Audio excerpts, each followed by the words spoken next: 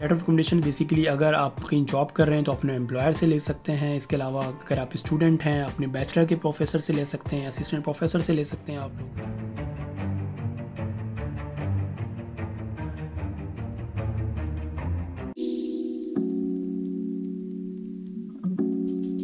Hello friends Germany से मैं शुभ Ahmad again एक नई वीडियो के साथ आप लोगों की स्क्रीन पर मौजूद हूँ। वीडियो का जैसे कि सब्जेक्ट आपने ऑलरेडी देख लिया है। What documents we have required for studying in Germany or while applying for application in Germany. और बेसिकली मोटिव जो व्यूअर्स मेरे चैनल पे न्यू हैं, उनके लिए ये कि प्लीज़ चैनल को सब्सक्राइब करें ताकि मेरी नई आने वाली वीडियो आपको टाइमली मिल सके और एक टाइम टू टाइम आप एक पॉजिटिव इन्फॉर्मेशन गेन कर सकें। चलिए वीडियो को स्टार्ट करते हैं। सबसे पहले जो इम्पोर्टेंट चीज़ जो रिक्वायर्ड है आपके लिए वो है पासपोर्ट अगर आपका पासपोर्ट अभी तक तैयार नहीं है और आप समर के लिए अप्लाई करना चाह रहे हैं 2023 और विंटर के लिए तो सबसे पहले आप अपना पासपोर्ट रेडी करें। और उन लोगों के लिए अगर जिनका पासपोर्ट आने वाले एक से डेढ़ साल में एक्सपायर होने वाला है आई वुड से और आई वुड रिकमेंड कि अपना पासपोर्ट रिन्यू करवा लें। मीन आप अपने इसी पासपोर्ट के साथ अपनी एप्लीकेशन जनरेट कर सकते हैं और वीज़ा अप्लाई भी कर सकते हैं बट तब तक आप एक न्यू पासपोर्ट तैयार करके रखें।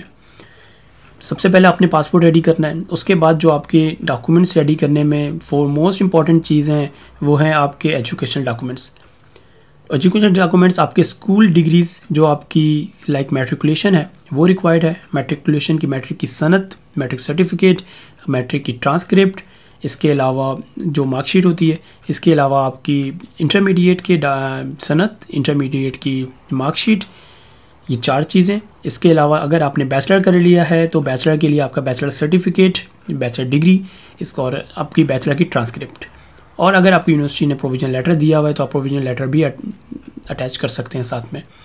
मीन इसकी कोई इतनी खास रिक्वायरमेंट नहीं है।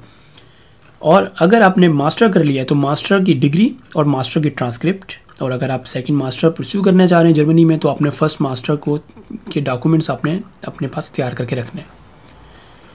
ये डॉक्यूमेंट्स आपने एजुकेशन बैकग्राउंड तमाम तैयार कर लिया। इसके अलावा जो नेक्स्ट स्टेप है, वो है आपका आइल्स का सर्टिफिकेट और आपकी सीवी आइल्स अगर आपने टेस्ट दे दिया है तो आइल्स का सर्टिफिकेट आपने अटैच करना है, साथ में डॉक्यूमेंट्स जो भी आप तैयार कर रहे हैं। इसके अलावा अगर आपने यूनिवर्सिटी से इंग्लिश प्रोफिशेंसी लेटर निकलवा लिया है तो आप वो इंग्लिश प्रोफिशेंसी लेटर भी अपने पास तैयार करके रख सकते हैं। अगेन जो आपकी सीवी है, वो बेसिकली यूरो पास होनी चाहिए। यूरो पास पे बेसिकली आपने जाके मैं लिंक डिस्क्रिप्शन में ऐड कर दूँगा। आपने सिंपल अपना बेसिक डेटा देना है उसको और वो एक सीवी एक फॉर्मेट पे बना के आपको दे देगा। तो आपको इतनी ज़्यादा कोई प्रॉब्लम हर्डल नहीं क्रिएट होंगी आपके लिए। तो जो भी स्मूथ होगा अपने डेटा सब सिंपली अपने पुट करना है तो साथ साथ आपकी सीवी तैयार होकर आ जाएगी।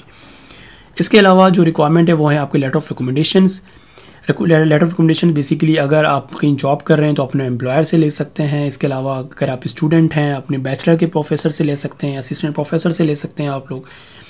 और इसके अलावा अगर आप मास्टर के स्टूडेंट हैं तो भी आप अपने प्रोफेसर से ले सकते हैं।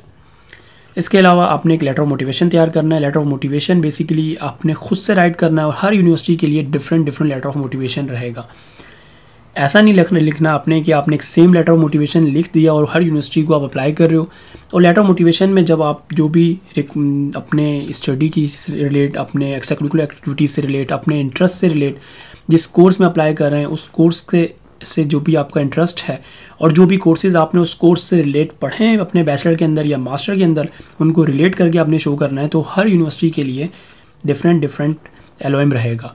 I mean letter of motivation इसके अलावा अगर आपके कुछ एक्स्ट्रा डॉक्यूमेंट्स हैं एक्स्ट्रा डॉक्यूमेंट्स में लाइक आपकी एक्स्ट्रा करिकुलर एक्टिविटीज़ हैं, इसके अलावा आपकी लाइक कोई स्पोर्ट्स में सर्टिफिकेट्स हैं आपके, इसके अलावा कुछ कोर्सेज़ किए हुए हैं लाइक कुछ पी सी से कोर्सेज़ कर लेते हैं या इसके अलावा यूनिवर्सिटी से कुछ डबल सी डबल ई के कोर्सेज़ कर लेते हैं, इसके अलावा जो भी पोस्ट ग्रेजुएट सर्टिफिकेशन होती हैं, वो कुछ कर लेते हैं।